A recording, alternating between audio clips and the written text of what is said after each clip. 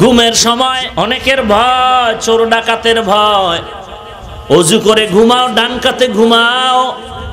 ডান কাতে তুমি ঘুমাইতে গিয়া একুশ বার বিসমিল্লাহির রহমানির রহিম পড়ে ঘুমাও। ঘুমের ঘরে যদি কেউ ঘুমের সময় অজু করে ঘুমাইয়া ডান কাতে একুশ বার বিসমিল্লা পড়ে পড়ে ঘুমায়, তিনটা উপকার হবে। ঘুমের মধ্যে কোনো খারাপ স্বপ্ন দেখবা না। দুই নম্বরে, আল্লাহ তোমার ঘরের মাল সামানা জান সহ ফিরিস্তা দিয়া পাহারা দেওয়ার ব্যবস্থা করবেন। এরে নবীর উম্মতের দল, তিন নাম্বার ফায়দা এই বিসমিল্লার বরকতে আল্লাহর নবীর সাথে মোলাকাতের ব্যবস্থা হয়ে যাবে। বিসমিল্লা পড়েন, কোরআনের তেলাওয়াত করেন। আল্লাহ তাআলার তিন হাজার নাম আছে। কয় হাজার তিন হাজার নাম। এক হাজার নাম আল্লাহ ফেরেশতাদের শিখাইলেন, বাকি রইল কত? এক হাজার নাম সমস্ত আম্বিয়া কেরামদের শিখাইলেন, বাকি রইল কত? তিনশো নাম আল্লাহ তাওরাতে দিলেন, তিনশত নাম আল্লাহ জবুর কিতাবে দিলেন, তিনশত নাম আল্লাহ ইঞ্জিল কিতাবে দিলেন, বাকি রইল কত? একটা নাম আল্লাহ নিজ কুদরতি হাতে জমা রাখলেন আর নিরানব্বইটা নাম আল্লাহ কোরআনের মধ্যে দিয়া দিলেন। আল্লাহর নবীর উম্মতেরা শুনে নাও, যদি কেউ বিসমিল্লার আমল চালু করে দাও, আল্লাহর তিন হাজার নামের বরকত বিসমিল্লার মধ্যে ঢুকানো আছে। যারা বিসমিল্লার আমল করবে, তারা তিন হাজার নামের জিকিরের সওয়াব পেয়ে যাবে। বিসমিল্লার আমল করো। الحمد لله الحمد لله الذي جعل الشمس والقمر بحسبان.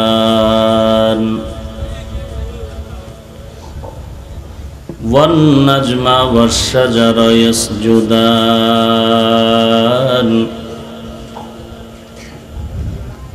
وفضل زمانا على زمان.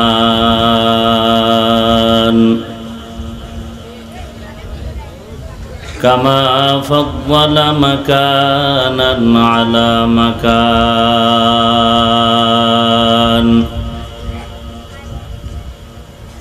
وإنسانا على إنسان.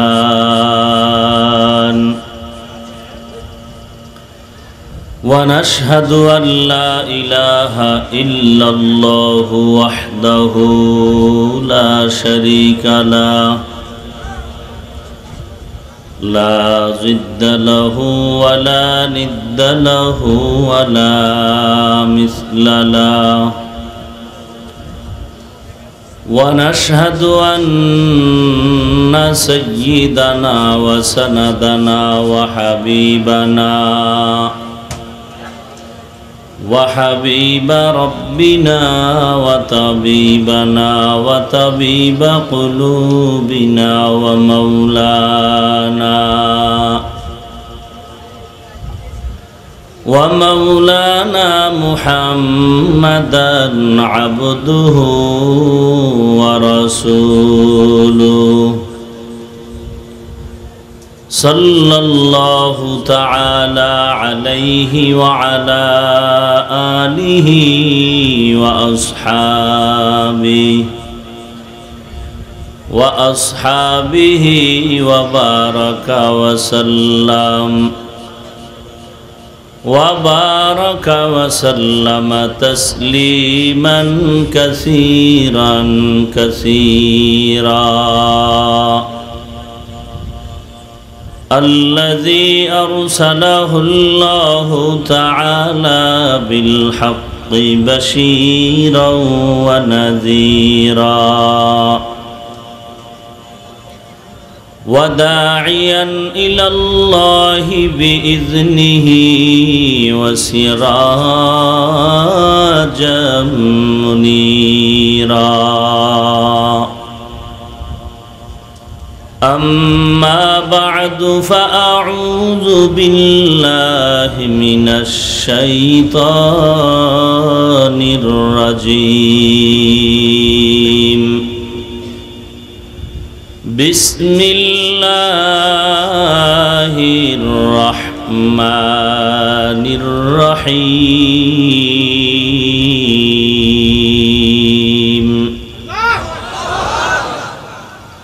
الذي خلق الموت والحياة ليبلوكم أيكم أحسن عملا وهو العزيز الغفور.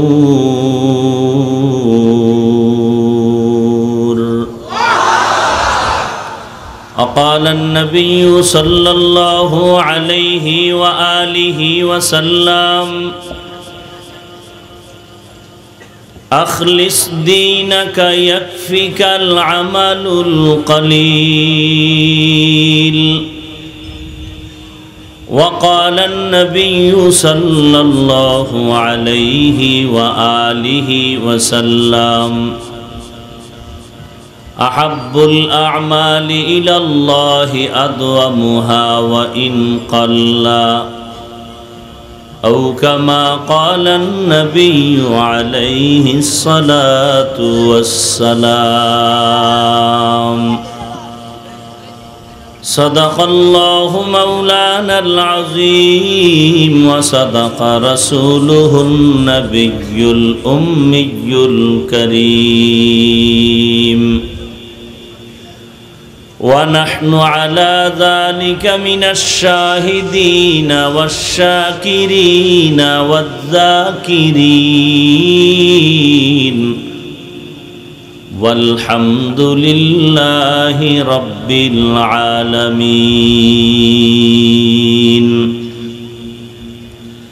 اللهم صل على روح محمد في الأرواح.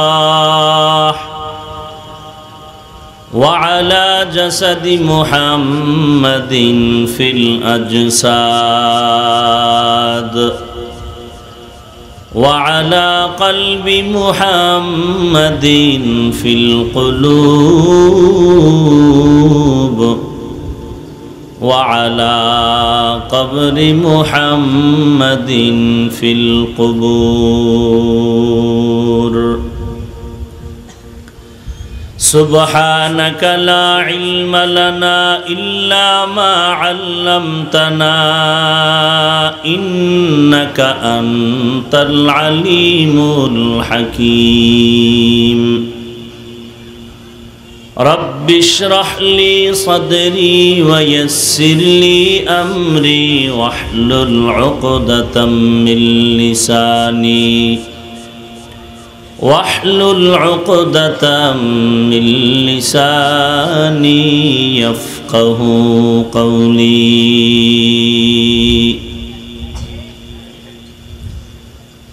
عمل سے زندگی بنتی ہے، جنت بھی، جہنم بھی۔ یہ خاک فطرت میں نہ نوری ہے، نہ ناری۔ یہ خاک فطرت میں نہ نوری ہے نہ ناری۔ محمد نے آ کر کفر کو مٹایا۔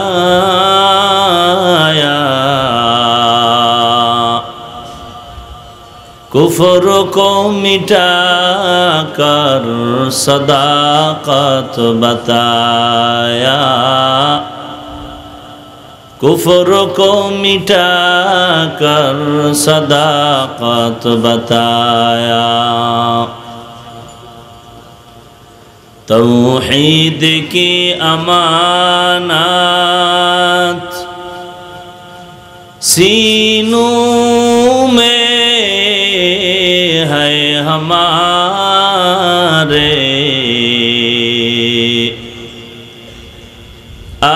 আশা নেহি মেটানা নাম নিশা হমারা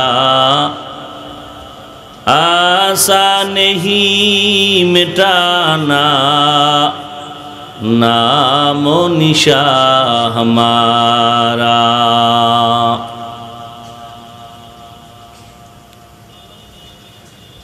বারো বাজার বাইতুসালাম জামে মসজিদ ও আনোয়ারুল কোরআন ফয়েজাম নুরানি হাফিজিয়া মাদ্রাসার উদ্যোগে আয়োজিত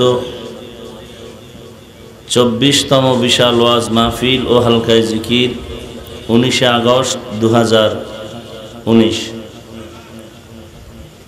মহতি এ মাহফিলে উপস্থিত মোহতারাম সম্মানিত সভাপতি, প্রধান অতিথি বিশেষ অতিথিবৃন্দ ও মুকাররাম জাতির মাথার মুকুট অরাসাতুল আম্বিয়া হজরত উলামাই করম। দূর দূরান্ত থেকে আগত আল্লাহ পাকের আশেকিন, জাকিরিন, শাকিরিন, মুহিব্বিন, মুরব্বিয়ান, এজম কলিজার টুকরা আমার সমবয়সী যুবক বন্ধুগণ, স্নেহের ছোট ভাই। পর্দার আড়ালে অবস্থানরতা, শ্রদ্ধেয়া, সম্মানিতা মা ও বোনেরা। দয়াময় আল্লাহ রব্বুল আলমিনের দরবারে লাখো, কোটি শকর ও সুযোগ যে মহান রব্বুল আলমিনে ফেতনার জামানায় কোরআন ও সুন্নার ভিত্তিতে সহি তরিকায় কিছু কথা বলার জন্য, শুনবার জন্য আমাদেরকে কবুল ও মঞ্জুর করেছেন। নেয়ামতের শকর আদায়ার্থে মুসলমান হিসেবে ইমানের আওয়াজকে উঁচু করে পড়ি, আলহামদুলিল্লাহ। লক্ষ কোটি দরুদ সালাম সৈয়দুল মুরসালিন রহমাতুল্লিল আলমিন, শফিউল মুজনিবিন, খাতামুন নবীন سید السخلین امام المرسلین، شفیع اعظم رسول اکرم رحمت عالم، نبی العرب العجم، حبیب کبریا اشرف الانبیاء سید الانبیاء، شفیع محشر ساقی کوثر آقا نامدار مدینہ کا تاجدار، آفتاب نبوت فخر موجودات سید المخلوقات۔ হজরত মোহাম্মদুর রসুল্লাহ সাল্লাহ আলহি ও আলিহি ওয়াসাল্লামের উপর। সর্বোপরি শকর যাদের অক্লান্ত পরিশ্রমের মাধ্যমে আজ এই সুন্দর আয়োজন। এলাকার যুবক, বৃদ্ধ, ব্যবসায়ী, শ্রমিক, চাকুরিজীবী, বিভিন্ন শ্রেণি পেশার মানুষ, জনপ্রতিনিধি এবং প্রশাসন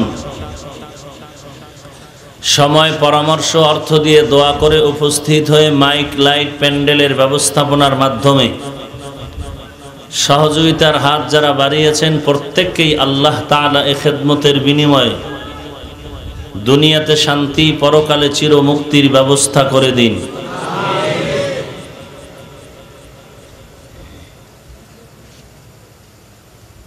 স্বাধীন বাংলাদেশ, মুসলিম দেশ মুসলমানের মজমা, মুসলমানের এই মজলিস বরকতময় বেহেস্তের বাগান। এই স্বাধীনতার পেছনে যাদের রক্ত চলে গেল, জীবন চলে গেল, আল্লাহ পাক তাদেরকে জান্নাতের উঁচু মাকাম দান করুন। যারা এই স্বাধীনতার বিপক্ষে অবস্থান করেছিল দুনিয়ার থেকে বিদায় হয়ে থাকলে আল্লাহ তাদেরকেও মাফ করে দিন। এখন যদি কেউ বেঁচে থাকেন, আল্লাহ তাদেরকে হেদায়াত দান করুন। আমি আজ আপনাদের সামনে কিছু কথা বলার নিয়েতে কোরআনে হাকিমের সুরাতুল মুল্ক এর দ্বিতীয় আয়াতে করিমা তিলাওয়াত করেছি। বিশ্বনবী শেষ নবী মহানবী শ্রেষ্ঠ নবী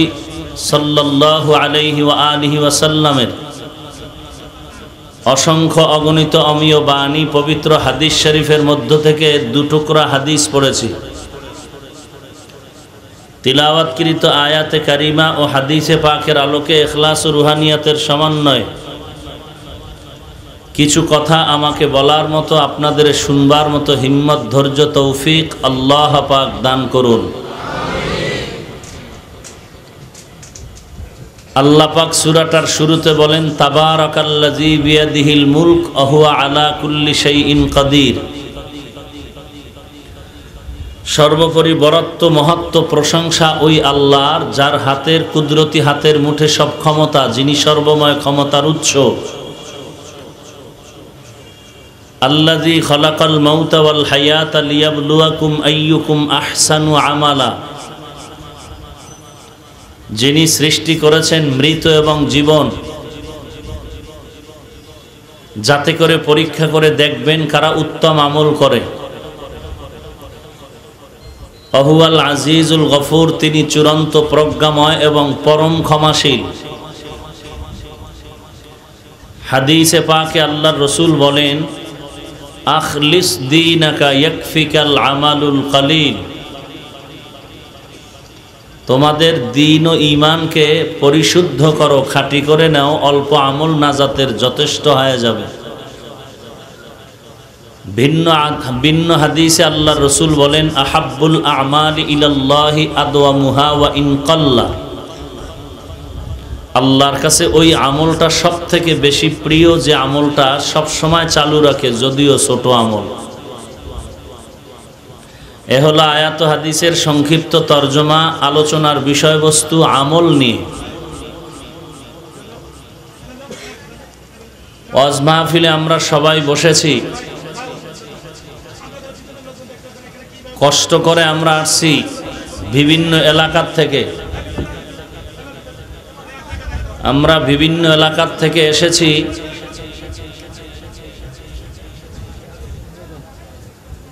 দিনের নেসবতে এমনই এক সময়। যেই সময়টা এক প্রতিকূল আবহাওয়া।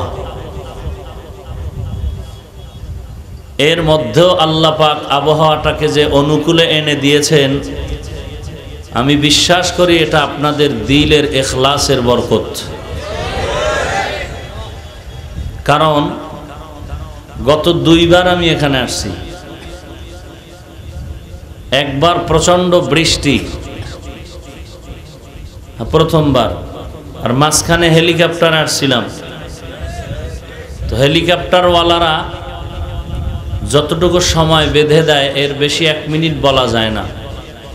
কারণ তারা রাত্রে চলে না, ওখানে মাগরিবের আগে তাদের এয়ারপোর্টে পুষতে হয়। এই প্রোগ্রাম নিতে আমি ইচ্ছা নাই। আমার মাদ্রাসার অফিসে বড় আকারে লেখা আছে, হেলিকপ্টারে প্রোগ্রামের জন্য আবেদন না করার অনুরোধ রইল। বিশেষ সুবিধার্থে যদি কেউ একক খরচ দেয় দিনের স্বার্থ, কারণ সারা বছর মাহফিল করলে তিনশো দিন মাহফিল করা যায়। পাঁচ হাজার লোক যদি মাহফিল চায়, পাঁচ হাজার থানায় এলাকায়, তো কীভাবে দেওয়া সম্ভব? হয়তো ওই মাগরিবের পরে এক জায়গায়, এশার পরে এক জায়গায়, জহুরের পরে এক জায়গায়। এইভাবে দিতে হয়, এছাড়া কোনো উপায় নেই। বাধ্য, ক্ষতি তো আমার হয়, কষ্ট তো আমার হয়। পৃথিবীতে মনে হয় এরকম কষ্টের কাজ আর একটাও নেই। একটানা মাইকের সামনে চিল্লানো, এর থেকে বড় কষ্ট আর কিছুই নেই। আমাদের এমপি মহোদয় কথা বললেন, কণ্ঠ বসা। তা আমি তো ডেলি চিল্লাই। সে রমজানের ঈদের পরদিন থেকে শুরু। সবে বরাতের আগের রাত্র পর্যন্ত কমপ্লিট ফিল দিনে রাত্রে মিলানো এক, দুই, তিনটা করে। এটা আল্লাহর রহমত ছাড়া আর কিছুই না। বাহাদুরি করার কিছুই নাই। আর আপনারা যারা পিছনে বয়ে একটু হিংস দেন, সমালোচনা করে, খুব মজা পান। আল্লাহর শপথ করে বলছি, না জেনে, না শুনে কোনো মন্তব্য যদি কেউ করে থাকেন, অবশ্যই অবশ্যই আপনি কবিরা গুণা করেছেন, একা একা তওবা করে নিন। আল্লাহর ভয় যদি থাকে, আল্লাহর ভয় আসামির কাঠগড়ায় দাঁড়ায় জবাব দেওয়ার ভয় যদি থাকে, তাহলে সমালোচনা যারা পিছনে পিছনে করছেন, একা একা তওবা করে নিন। অনুরোধ থাকল।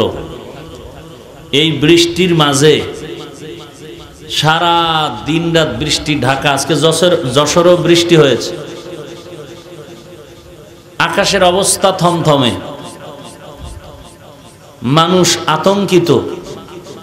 গরু, মহিষ, উট, ভেড়া, বকরি, দুম্বা, জবাই দিয়ে তবারকের সাইনবোর্ড লাগায় লোক পাওয়া যায় না। আর এই বৃষ্টির মধ্যে এত মানুষ নিজের টাকা দিয়ে আসছে। কথা ঠিক না? এই অবস্থা দেখলে যারা একটু বিরোধী, সহ্য করতে পারে? সহ্য করতে না পারলেই উল্টা পাল্টা সমালোচনা করে। গ্রামের একটা প্রবাদ আছে, দেখতে নারী চলন বাঁকা। এক সুন্দরী মেয়ের পেছনে এক যুবক ডিস্টার্ব করে। তো সুন্দরী মেয়ে কয়, তুই আমাকে ডিস্টার্ব করো, তোর কি ক্ষতি করলাম? বলে, না, তুমি আমার কোনো ক্ষতি করনি। তুমি এত সুন্দরী কেন? এটাই তোমার জন্য বিপদ। তুমি এত সুন্দরী কেন? স্বামী খুব বুজুর্গ মানুষ, কিন্তু স্ত্রীর কাছে মোটেই ভালো লাগে না। তো একদিন দেখে জোনাকির আলোতে রাতের বেলা এক পাগড়িওয়ালা শূন্যের উপরে ঘুরে, তো মনে মনে স্ত্রী বলে, আমার স্বামী যদি এরকম বুজুর্গ হইতো, তো কলিজারা ঠান্ডা হইতো। এবাদাত খানার থেকে স্বামী রাতের বেলা ঘরে আসছে। বলে, তুমি কিসের বুজুর্গ? আজকে এক বুজুর্গ দেখলাম পাগড়ি মাথায় শূন্যের উপরে ঘুরে। বুজুর্গ বলে, তুমি দেখেছ? বলে, অবশ্যই। বলে, ওই লোকটা তো আমিই ছিলাম। ও এই জন্যই দেখলাম পাও একটা বাঁকা হয়ে আছে। দেখতে নারী চলন বাঁকা। হ্যাঁ? মানুষ কাউকে একটা গালি দেই না, কারও বিরুদ্ধে বলি না। এখানে আওয়ামী লীগ, বিএনপি, পীরের জগতে যত তরিকা আছে, সব লাইনের লোক আছে। সব কি আমার ভক্ত নাকি? অতএব আমার চিন্তা করে এমন কিছু কথা এখানে বলতে হবে যে কথাগুলো মানুষ দিনের জন্য পুঁজি বানায় বাড়ি যেতে পারে। কথা ঠিক না? তাহলে এত লোক নিজের টাকা দিয়ে কত দূর দূর থেকে, বহু দূর থেকে আসছে, সে মাগুরা থেকে। আরও কত আশেপাশে আপনাদের এলাকা আপনারা জানেন, বহু দূর থেকে আসছে।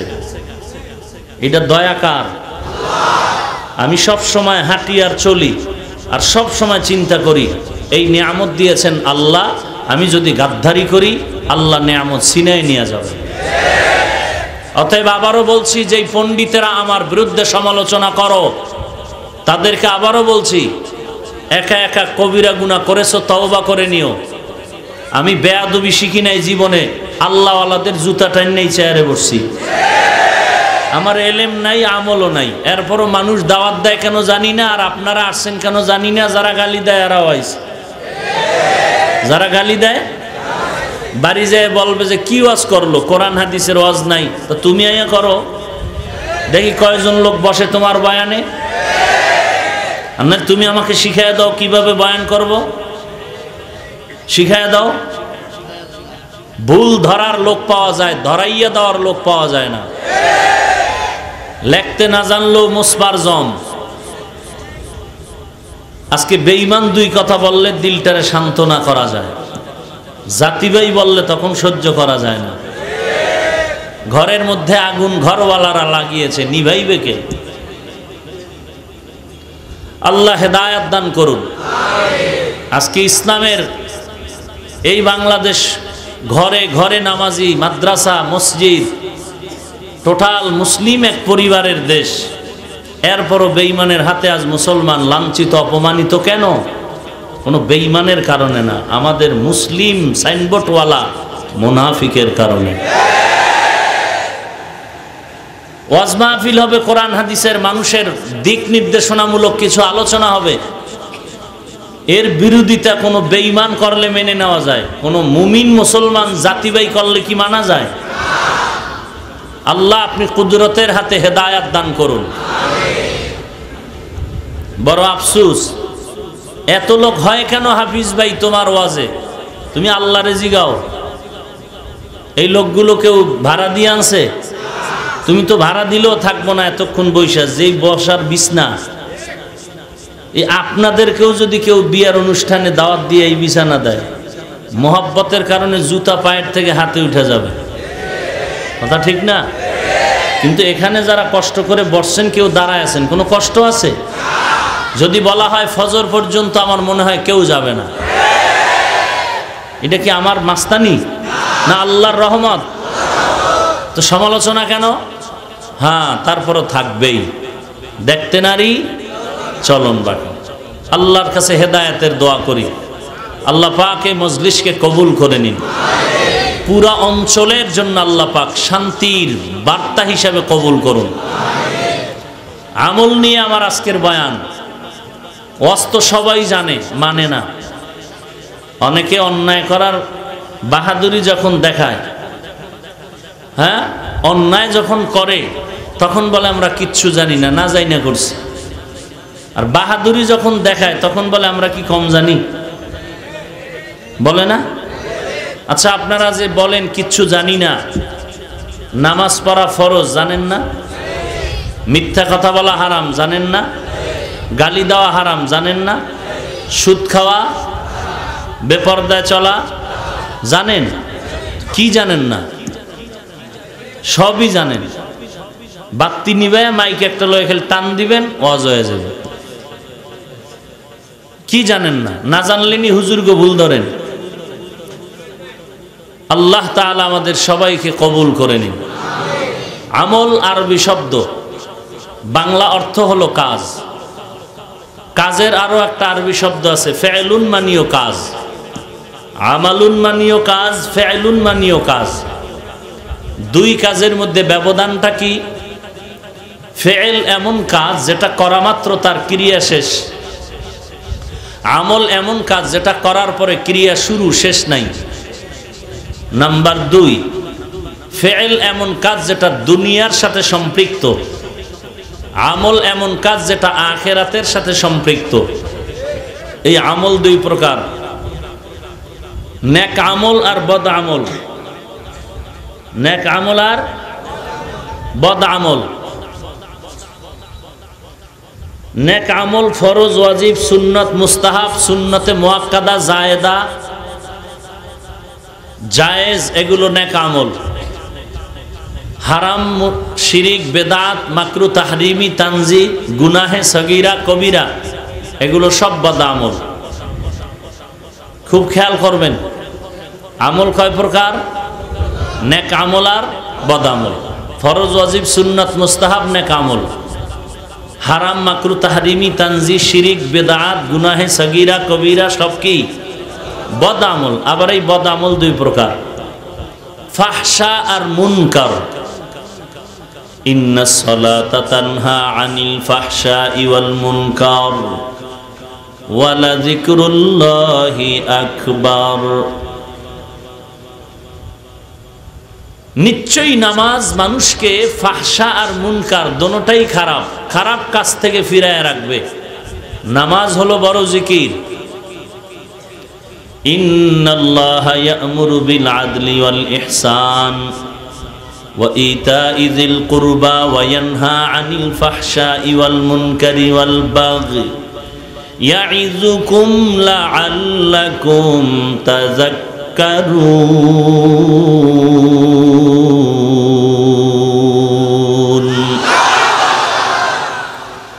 বদ আমল দুই প্রকার ফাহসা আর মুনকার দুটাই খারাপ আমল ব্যবধান কি? ফাহসা এমন বদ আমল যেটা বুঝতে বিবেক যথেষ্ট, কোরআন হাদিসের দলিল পর্যন্ত যেতে হয় না।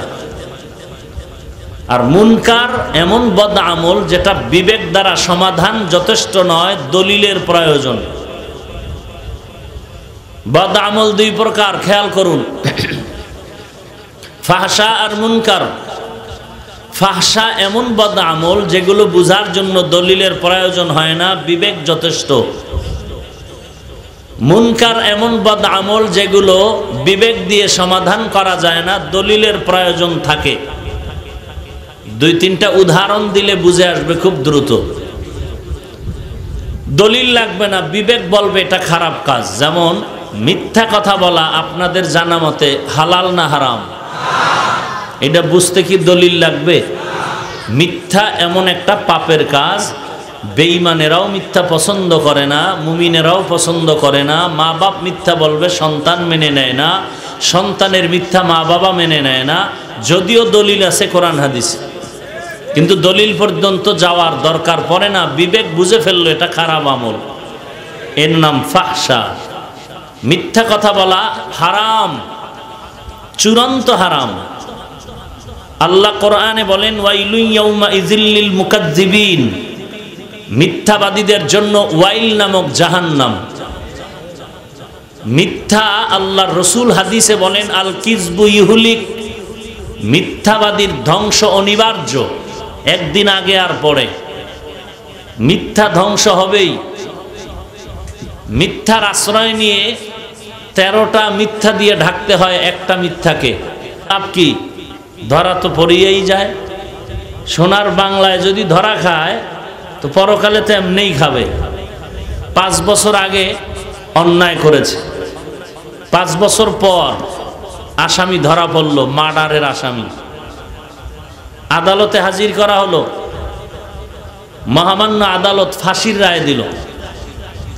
ফাঁসির রায়ের পরে আসামি একটু কথা বলতে চাইল। কথাটা হলো মহামান্য আদালতের কাছে আমি পাঁচ বছর আগে অন্ধকার একটি এলাকা যেখানে কোনো মানুষ ছিল না রাতের আধারে, যৌবনের তারনায় আমি একটা মেয়েকে পাগলামিতে ফালাইয়া মেরে ফেলেছি। পাঁচ বছর আগের ঘটনা কেউ ছিল না। পাঁচ বছর পরে আপনারা জানলেন কীভাবে? আমার মৃত্যু হবে, আমি জানি, কিন্তু আপনারা জানলেন কীভাবে এটা জানতে চাই? মহামান্য আদালত বলে সব কিছু জানানো তোমাকে সম্ভব নয়। এটা আমাদের সিক্রেট ব্যাপার। দুনিয়ার মানুষ জেনে গেল যে পাঁচ বছর আগে অন্যায় করেও পাঁচ বছর পরে পার পায়নি। যার একটা মিস কলে সবাই দৌড়ায় কাছে আসে। হঠাৎ করে একটা অন্যায়ের কারণে তার হাতে হ্যান্ডকাপ লেগে গেল। কি ব্যাপার তুমি না আমার মিস কলে আইসা দ্বারের দাঁড়ায় থাকো, দরজার কিনারায় ঘন্টাকে ঘণ্টা? বলে, পাপ যখন সীমা লঙ্ঘন করে, তখন আর রেহাই পাওয়া যায় না। গ্রামে কয়, পাপ বাতি হয়ে গেছে। পাপ যখন বাতি হয়ে যায়, তখন আসমান থেকে ফয়সালা হয়, জমিনে থাকে না। আর আসমানের ফয়সালা রদ করার কারও ক্ষমতা নাই। এটাই দুনিয়ার বড় কঠিন বিচার। আল্লাহ যে আখেরাতের দিন বিচারালয় কায়েম করবেন, তার নমুনা আল্লাহ দুনিয়াতে দেখাই দিতেছেন। তো মিথ্যা কথা বলা চূড়ান্ত পাপের কাজ। নবীজির কাছে একজন লোক গেল দুইটা অন্যায়ের কথা স্বীকার করতে। ইয়া রসুল আল্লাহ আমার দুইটা অপরাধ আছে, চুরি করি আর মিথ্যা বলি। এখন এর থেকে ভালো হব কীভাবে? দুইটা একত্রে ছাড়তে পারব না। চুরিও করি, মিথ্যা কথাও বলি। নবীজি বললেন, চুরি করলে করো, না করলে নাই, তোমার এখতিয়ার। তবে ওয়াদা করো, মিথ্যা বলবা না। লোকটা মনের খুশিতে বলে, কন কি, ওয়াদা কি? জীবনেও মিথ্যা বলব না, গলায় রশি লাগল। চুরির অনুমতি পাইছে আর মিথ্যার দরকার কি? বাড়িতে গিয়ে এবার চুরি করতে যাবে, হঠাৎ করে মনের খেয়াল আসলো। চুরি করলে আজকাল তো ধরা খামু, খাইলেই তো স্বীকার করতে হবে, মিথ্যা তো বলা যাবে না। কানে ধরে তওবা করে রসুলের দরবারে গিয়ে বলেন, ইয়া আল্লাহ এ আল্লাহর রসুল, আপনি উম্মতের রুহানি ডাক্তার, জায়গা মতো ঔষধ দিয়েছেন আমাকে কালেমা পড়ায় মুসলমান বানায় দেন, আজকে থেকে আর কোনো অপরাধ করব না। মিথ্যা কথা বলা মহাপাপ। গালি দেওয়া, বলেন? সবাব না গুণা বলেন না কেন? এটা বুঝতে দলিল লাগবে? না বিবেক বুঝলো? মিথ্যা একটা পাপের কাজ। গালি দেওয়া পাপের কাজ। দলিল আছে, কোরআন, হাদিসে ভুরি ভুরি দলিল। কিন্তু বিবেক স্বীকার করে নিল যে গালি দেওয়া একটা পাপের কাজ। কেউ গালি পছন্দ করে না। কোনো বেইমানেও গালি পছন্দ করে না। করে? কিন্তু এরপরও চলেনি।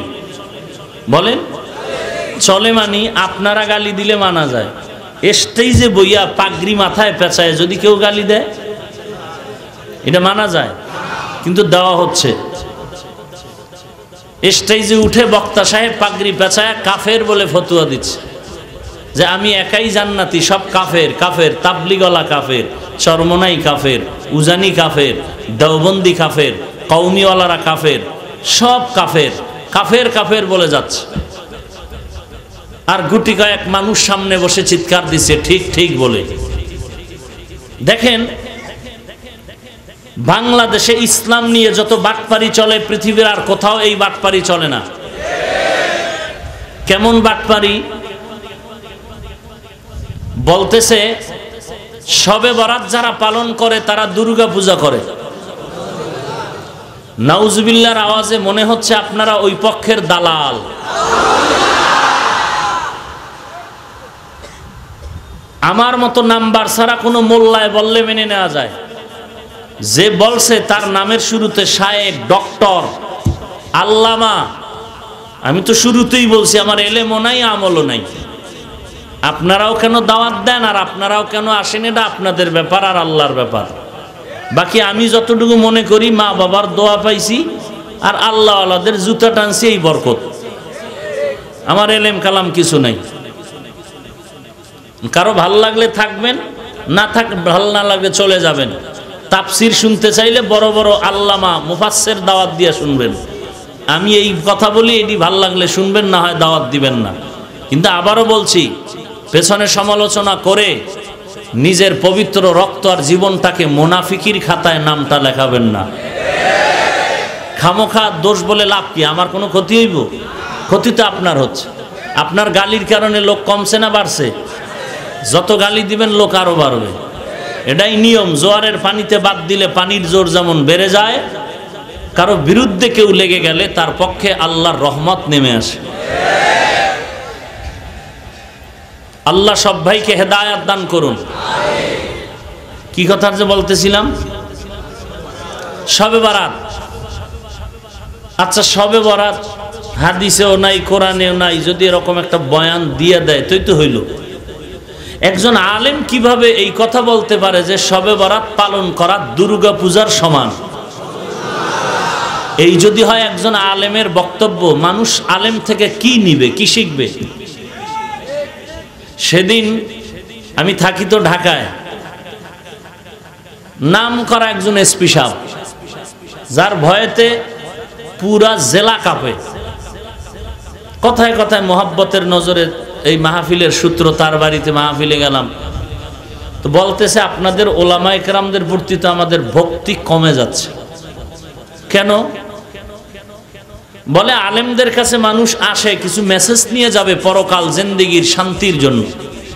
কিন্তু আপনাদের আলেমরা উঠেই যদি গালি দেয়, অমুকে কাফের কাফের কাফের কাফের, তা আপনাদের থেকে মানুষ শিখবে কি? আহলে হাদিস ভাইরা কৌমি আলাদের কাফের কয়, মোশরেক বলতেছে, আবু হানিফাকে মোশরেক বলতেছে। যারা জোরে আমিন কয় না, আলহামদুর পরে তাদেরকে মোশরেক বলতেছে। যারা বুকের উপরে হাত বাঁধে না, মোশরেক বলতেছে। অথচ আজও পর্যন্ত তাদেরকে আমাদের পক্ষ থেকে কেউ গালাগালি করে নেই। এই যদি হয় আলেমের অবস্থা, আরও কত ঘোলাটে? বলে, লা ইলাহা ইল্লাল্লাহ মুহাম্মদুর রসুল্লাহ এই কালেমা পড়া যাবে না, এটা কুফুরি কালেমা। আমি ঢাকা বৈশা সেদিন প্রশ্ন করলাম, যেই মৌলবী সাহেব এই এই কথাটা বললেন, তাকে আমরা ভালো করে চিনি কোন দরবার শরীফের কুতুব? টেলিভিশনের মধ্যেই ফতুয়া দিয়েছেন, লা ইলাহা ইল্লাল্লাহ মুহাম্মদুর রসুল্লাহ কালেমা কুফুরি। তা আমি বলব, আপনার দাদার দাদা, পরদাদা, চোদ্দ গোষ্ঠী কি কাফের হয়ে মরল?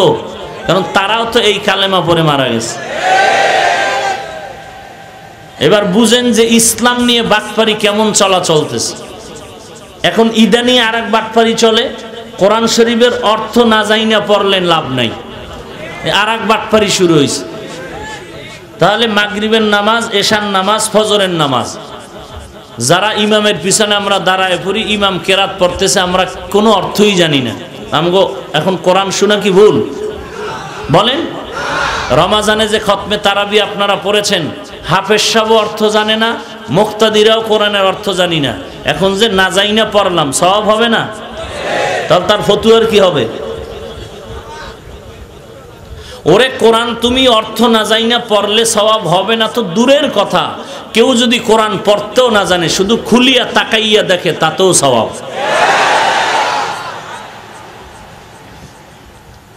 আর আমার সোজা কথা, যেই সমস্ত বিষয়ে মানুষ বুঝে না, বিতর্কে জড়াবে, এই বিষয়গুলো বয়ানে বলার দরকারটা কি?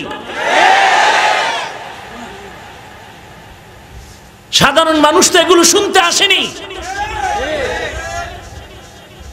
স্বাধীনতার চল্লিশ থেকে পঁয়তাল্লিশ বছর পর্যন্ত বাংলাদেশের মানুষ ইসলাম পেয়েছে পীর আউলিয়ার মাধ্যমে। নাবির নিচে হাত বেঁধে অভ্যস্ত, তুমি বুকের হাদিস বইলা ফেতনা ছড়াও কেন? তুমি যদি বুকে হাত হাত নামাজ পড়ে শান্তি পাও, হাদিসে থাকে, পড়ো। যারা নাবির নিচে অভ্যস্ত, তুমি তাদেরকে কেন হিংসা করো? যারা বিশ রেখার তারাবি পরে চল্লিশ বছর পরেছে এই বাংলার স্বাধীনতার জীবনে তুমি আট রাখাত পরো নাইলে না পইরা রাস্তায় গিয়ে বিড়ি টানো। কে তোমাকে জিগায়? কিন্তু বিশ রাখাতওয়ালার সাথে তর্ক করো কেন? তুমি সবে বরাত পালন করবা না, তুমি নাক টেনে ঘুমাও। কিন্তু সবে বরাত দুর্গা পূজার সমান এই কথা বলার অধিকার তোমাকে কে দিয়েছে?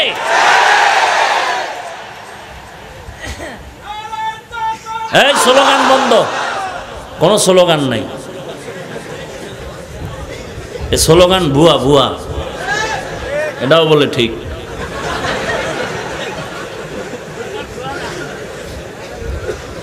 হায় হায় হায় হায়। রাগ করতেছেন আপনারা?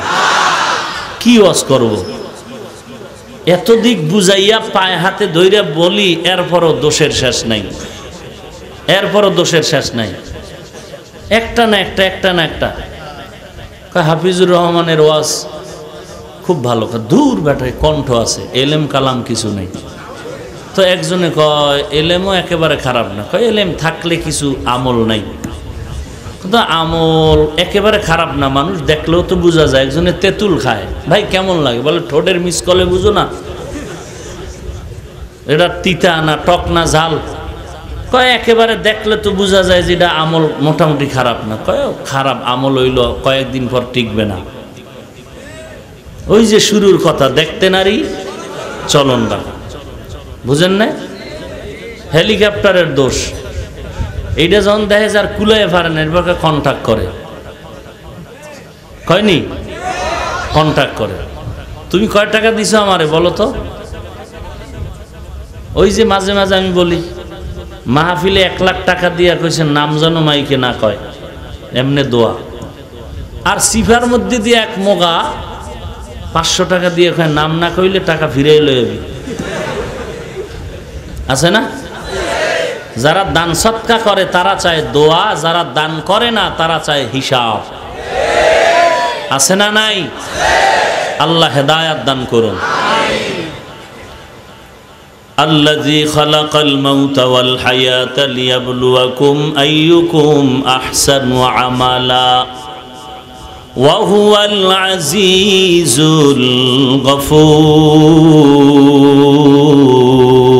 الغفور ই কালামে জিন্দা কোরআনে হাকিম হিকমতে উলায়া জালসত কদিম জামিউল ইলম ফিল কোরআনে হাকিম تقاصرت عنه أفهام الرجال বদআমল দুই প্রকার ফাহশা আর মুনকার ফাহসা মানি বুঝার জন্য কোনো দলিলের প্রয়োজন নাই বিবেক দ্বারা সমাধানটা এসে যায় দলিল পর্যন্ত যেতে হয় না দুইটা উদাহরণ দিলাম মিথ্যা কথা বলা মহাপাপ বিবেক বুঝতে পারে দলিল দরকার হয় না গালাগালি করা মহাপাপ, এটাও বিবেক বুঝে দলিলের কোনো প্রয়োজন হয় না। দলিল আছে, আল্লাহ কোরআনে বলেন, গালাগালি করবা না।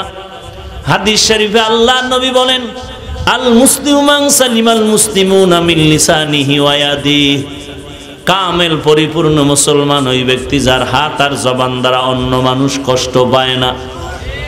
গালাগালি মহাপাপ।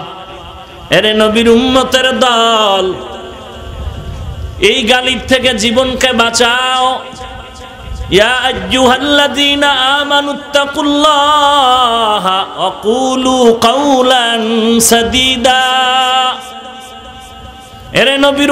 দল, আল্লাহকে ভয় কর। আল্লাহর ভয় অন্তরে ঢুকাও। আল্লাহর ভয় ঢুকাইয়া বান্দা তোমার জবানটারে হেফাজত করো জবানকে কেমনে হেফাজত করবা? এক নম্বরে জবান দ্বারা কোনো মিথ্যা কথা বলবা না। দুই নম্বরে জবান দ্বারা কাউকে গালি দিবা না। তিন নম্বরে জবানের দ্বারা কারও গিবত শেখায়াত পেছনে করবা না। কত তিনটা কাজ তুমি বন্ধ করে কষ্টে লাগায়া থাকবা বলে, না না, বাড়তি তিনটা আমল চালু করে দাও। তিনটা আমল যখন চালু করবা, তখন এই তিনটা গুণা তোমার থেকে চলে যাবে। এক নম্বরে কোরআনের তালাওয়াত জবানে কোরআনের তালাওয়াত করো, কায়, হুজুর, পারি না। আলহামদু সুরাটাও কি পারেন না? তাহলে ওই সুরাটা পড়েন। অজুর সাথে পড়বেন, মোহাব্বতে পড়বেন, এক একটা অক্ষরে আল্লাহ দশটা ন্যাক দান করবে। যদি বলেন, হুজুর আলহামদু পারি না। বিসমিল্লাও কি পারেন না? এই বিসমিল্লাও কি পারেন না? তাহলে হাঁটতে, চলতে সর্বাবস্থায় পড়বেন বিসমিল্লাহির রহমানির রহিম। পুরা বিসমিল্লা লিখতে উনিশটা অক্ষর লাগে। যারা এই বিসমিল্লার অজিফা পড়বে, সব সময় বিসমিল্লার আমল করবে। উনিশ জন জাহান নামের ফেরেস্তা থেকে আল্লাহ তারে নাজাদ দিয়ে দিবে বিসমিল্লার আমল করো। দুই নাম্বার, আল্লাহর জিকির করেন। কার জিকির? না কোনো পীরের জিকির? আল্লাহর জিকির করেন সুবহান আল্লাহ আলহামদুলিল্লাহ, আল্লাহ আকবর এইভাবে আল্লাহর জিকির করেন। তিন নাম্বার, নবীর শানে দরুদ সালাম পড়েন। হাঁটতে চলতে সব সময় দরুদ শরীফ পড়েন, সাল্লাল্লাহু আলাইহি ওয়া আলিহি ওয়া আলিহি শব্দটা বাড়ায় পড়বেন, সাল্লাল্লাহু আলাইহি ওয়া আলিহি ওয়াসাল্লাম, সাল্লাল্লাহু আলাইহি ওয়া আলিহি ওয়াসাল্লাম, সাল্লাল্লাহু আলাইহি ওয়া আলিহি ওয়াসাল্লাম। একবার পড়বেন, তিনটা পুরস্কার, দশটা গুণা মাফ আমল নামায় দশটা ন্যাক যোগ হবে, আল্লাহর দরবারে দশ গুণ মর্যাদা বৃদ্ধি পেয়ে যাবে। ہر کے باشد عامل سلو مدہم آتش دوزخ شود بروائے حرام নবীর উপরে দরুদ সালাম পড়ো, মোহাব্বতের সাথে পড়ো।